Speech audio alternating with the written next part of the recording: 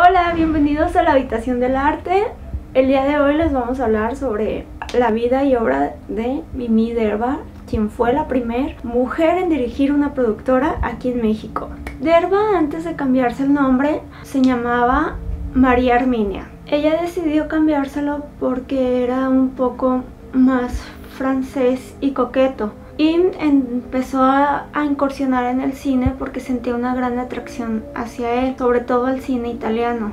Derba decidió incursionar en el cine cuando en nuestro país todavía no existían antecedentes de cine de ficción. En 1917 decidió hacer cine de ficción en México en compañía de Enrique Rosas y Pablo González. Decidieron formar la primera productora formalmente en la historia de nuestro país. La Sociedad Cinematográfica Mexicana Rosas y Derba y Cia, que finalmente terminó llamándose Azteca Films y que se fundó en 1917 en un gran lote baldío en la Ciudad de México. La prensa mexicana aplaudió este hecho sobre todo porque se trataba de una mujer quien dirigía la compañía. En menos de un año se grabaron alrededor de cinco películas. En cada una de ellas Derba era la actriz y se dedicó también a escribir, producir y editar cada una de estas cintas que reflejaban las situaciones de las películas italianas que eran las cuales influenciaban en esta en Derba. Aunque no existe la certeza, probablemente Mimi Derba actuó en La Tigresa, la cual fue grabada en 1917 y se comenta que probablemente ella la dirigió, pero no podemos corroborar información ya que mucho de este material se perdió. Derba continuó actuando hasta 1919 cuando decidió retirarse un poco debido al escaso éxito de sus películas.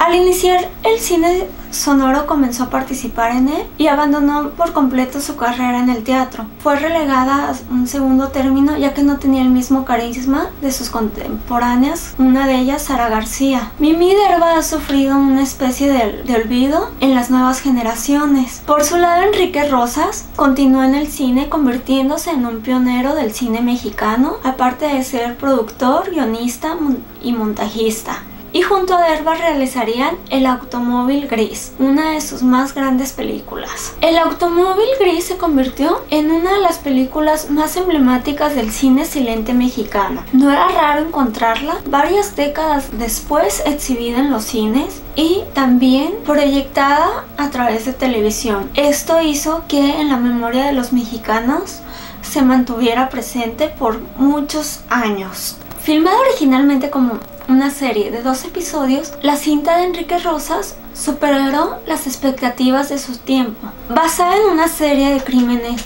que sacudieron a la sociedad capitalina en 1915, el automóvil gris trajo por primera vez al cine mexicano la experiencia histórica inmediata. La cinta es una de las más contemporáneas, un enorme trabajo de cinema variet que incluye dos elementos reales, el inspector Juan Manuel Cabrera interpretándose a sí mismo y la famosa escena del fusilamiento filmada por Rosas en 1915. Algunos de los aspectos más encantadores del automóvil gris son sus imágenes de una ciudad de México aún ajetreada por la Revolución Mexicana. Ver las calles solitarias a pleno día, las fachadas aún lastimadas por la guerra, ver aquellos hombres aún de sombrero y bastón, una Ciudad de México muy diferente a como la conocemos actualmente. A pesar de su fama, el automóvil gris estuvo a punto de no llegar a nuestros días. En un tonto pero comprensible afán, la serie fue reeditada y sonorizada en 1933.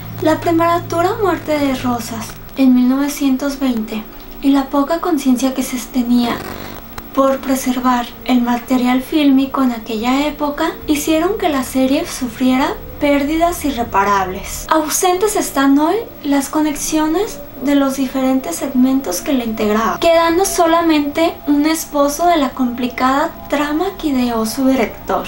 Sin embargo, lo que existe aún del automóvil gris es suficiente para emocionarnos ante sus imágenes. En la cinta aún vibra el espíritu de Rosas y de aquella época de 1919. Como dato curioso, podemos decir que la UNAM presentó una versión con voces de doblaje, entre ellos la de Víctor Alcocer. y se realizó antes de que se crearan todas las academias de cine.